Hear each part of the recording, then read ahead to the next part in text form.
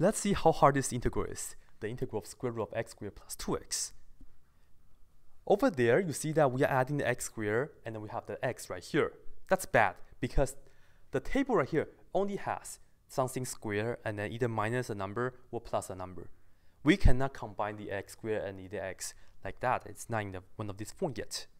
And what we have to do first is, we can take a look of the inside quadratic and complete the square. And that's exactly what we have to do. Complete the square of the inside. And we have x squared plus 2x. I have to add some number. This number is going to be the value in front of the x. This is my b value. b is equal to 2. And then you have to make sure we have 1x squared, which we do. That's good. So then you work out this formula, b over 2 square, and the b is equal to 2. So we have 2 over 2 square, that will be 1. 1 square is 1. So what we have to do is we have to add 1 to it. But if I just add 1, I change the entire thing. But it's okay, I can just immediately subtract 1, pretend nothing happened. Okay? And then if you look at this part, the first three terms altogether is going to give you a perfect square, namely x plus 1 to the second power, and then minus 1, we can look at that as minus 1 squared. Okay? So, to integrate this, it's the same as integrate that inside of the square root. So let's begin. Say this is the same as the integral of parentheses x plus 1 square minus 1 square dx. Okay? So this will give us something square minus a number, another number square, which is the third situation, okay? But then I don't like to look at the x plus 1. Let's do a small substitution before we go. Perhaps I can say something like that u equals to inside function, which is x plus 1, and then du will be the same as dx. This way, it works slightly better, okay? And just in case if you happen to have a 2, 2x right here, this will be uh, much better, okay? I will take this integral into u world first. So this is the same as the integral, and now we will have square root u square, right? That's u, so that becomes u square, and then we have minus 1 square, let's just keep it as how it is, and dx is the same as du. And now if you take a look of that, that's exactly the same as this form, where x is equal to the u, and then a is equal to this one, okay? So to begin, we also say that u, okay, this is like the x, that u, uh, because here I have u right here, that u equals to, I will take the integral into the theta world from u to theta world, okay? 1, because a is equal to 1, times secant, secant theta. So u is equal to secant theta. And then, of course, let's just differentiate both sides. We get du, uh, in terms of theta, we get secant theta tangent theta d theta. Okay, derivative secant is that. Okay, let's see what we have. This is going to be the integral square root. What's u square? We just have to square both sides. So we have secant square theta minus 1. And what's du? du is this. So let's put this down. Secant theta tangent theta d theta. Okay, What's the first one? Well, inside here, secant square theta minus 1. We can use this. That's the same as tangent square. But then it's inside of the square root. So altogether, this is the same as tangent. Altogether, is just a tangent theta. Okay? Altogether, is just a tangent. Okay? This is like, if you would like, inside it's um, tangent square, and then you take the square root. So altogether, you get um, just a tangent. But then here we have a tangent from this entire thing. We have another tangent, so altogether we have tangent square. And we can look at this integral secant square, I mean secant theta, this is only secant theta, tangent square theta, d theta, okay? So that's how it works. And now the question becomes like, how can we integrate this? If you have watched my videos on how we integrate secant to a third power, uh, this somehow appears. And the idea is that we have to take this tangent square and replace this with secant square theta minus 1. Okay? Tangent square is the same as secant square theta minus 1. So what are we talking about? After we distribute this theta, secant theta, into these parentheses, we are talking about the integral secant times secant square is secant to a third power theta. And then secant theta times negative 1, we have minus secant theta d theta. okay?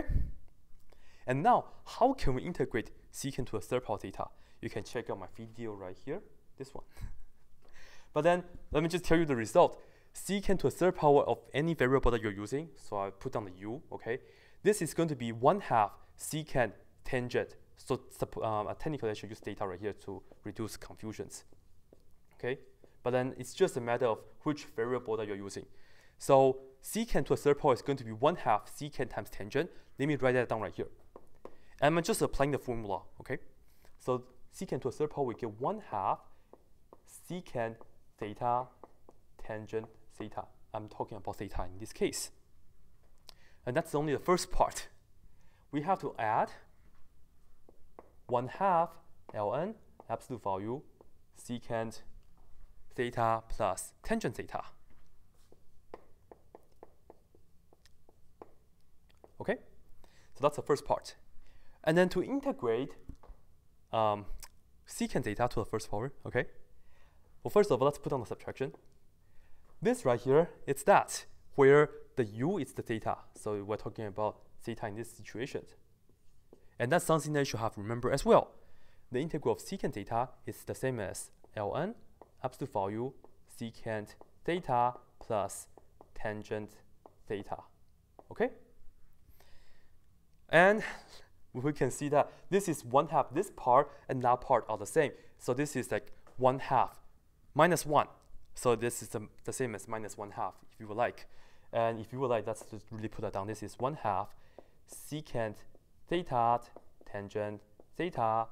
And combining these two terms together before we do anything else, we get minus one half ln absolute value secant theta plus tangent theta. Okay? We are done with the integration part, but then this integral, the result right here, right, the result right here is still in the theta world. So we have to go back. Now the question is, how exactly can we find secant theta and tangent theta in terms of x? Well, as we can see, we know u is equal to secant theta. That's pretty nice. And perhaps I have run out of space. If you guys don't mind, let me put a triangle right here draw a small triangle. And we have a right angle here, put the theta right here. And then we are talking about u. And this is a u over 1 because we want to look at this as a fraction. And inside of a right triangle, secant means what? It means hypotenuse over adjacent. We have u over 1. So that means we have u right here and 1 right here.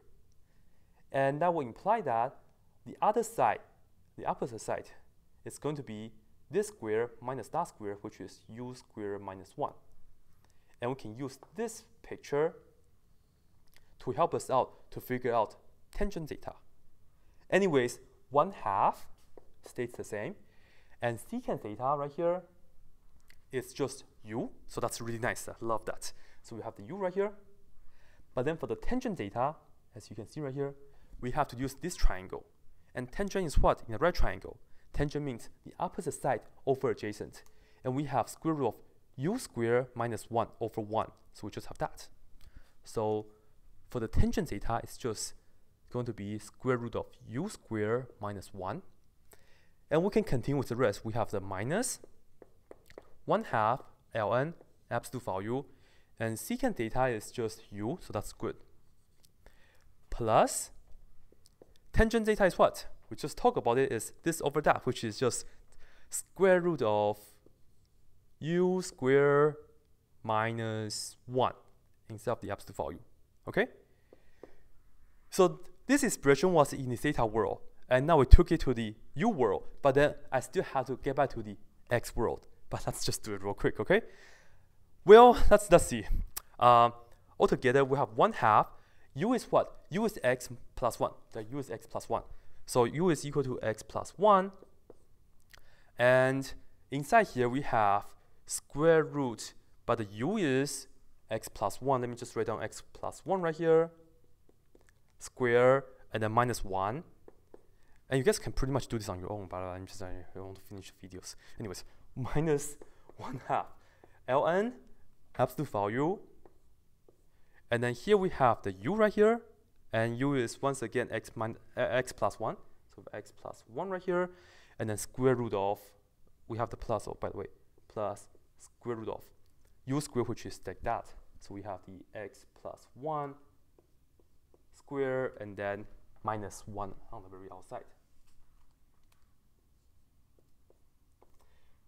Just like this. But then I think in the uh, the answer in the back of the book, they kind of multiply this out. So we'll do that just real quick. So here we have 1 half x plus 1, no big deal. But then what's this? What's x plus 1 parentheses squared minus 1? This is the same as the very original because this is the same as that.